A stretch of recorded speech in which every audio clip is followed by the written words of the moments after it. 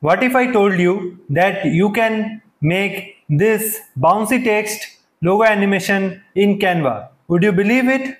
Yes, now it is possible and let me show you how you can do it. So first I will go to video landscape here. Okay, first I will make the background as black color. Okay, and I will go to text and here write B first in capital and make the size of B as 300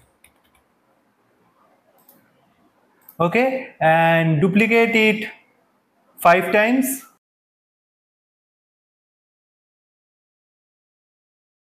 Okay? So I uh, need to duplicate it one time more.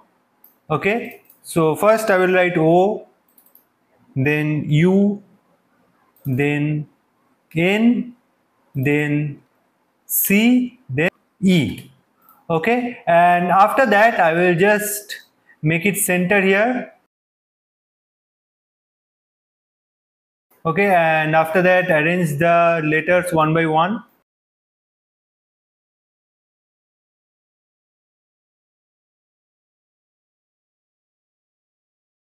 Okay? And just uh, control plus a in the keyboard to select them all and make it center okay so this part is done. Now i will duplicate the page five times more.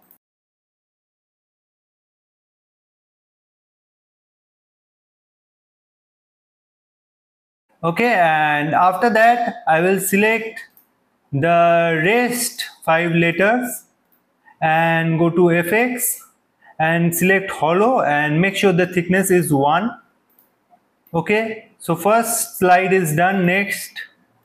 I will follow for the next one which is I will deselect this O and again go to FX go to hollow and 1 and this time I will leave till U and make this 3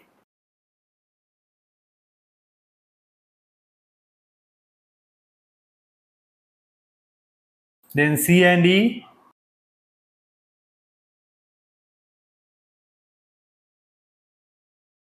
then only E. Okay so this part is done. Now select uh, here click on add transition. Select match and move. And make sure it is in uh, 0.5 seconds and click on apply between all pages. Okay so this one is applied and select any page and go to timing and select one second and click on apply to all pages. Okay so this one is done and as you can see the timing is now six seconds and click on share click on download. Make sure it is in mp4 and quality you can adjust. I am keeping 1080p hd version and i will click on download.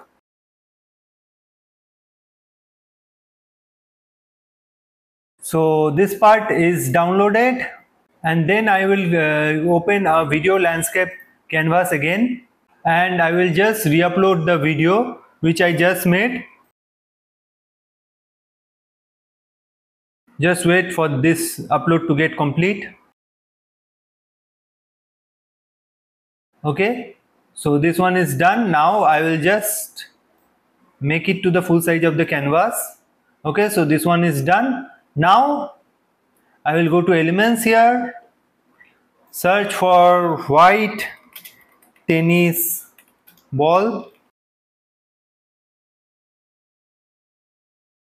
And I will select this one. Make it size smaller like this and just move it above this B. And after that I will click on it and click on animate and make sure you select this B icon. Okay so now hold on to the tennis ball and create the animation part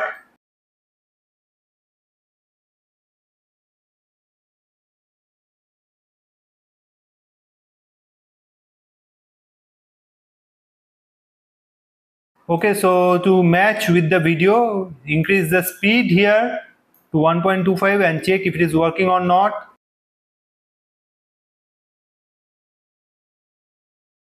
So now as you can see the video is working fine. Now you just click on share click on download and download the video as mp4 and your design is ready. So hope you like this tutorial and you learned something out of it so please subscribe to the channel for more amazing tutorials like this. Thank you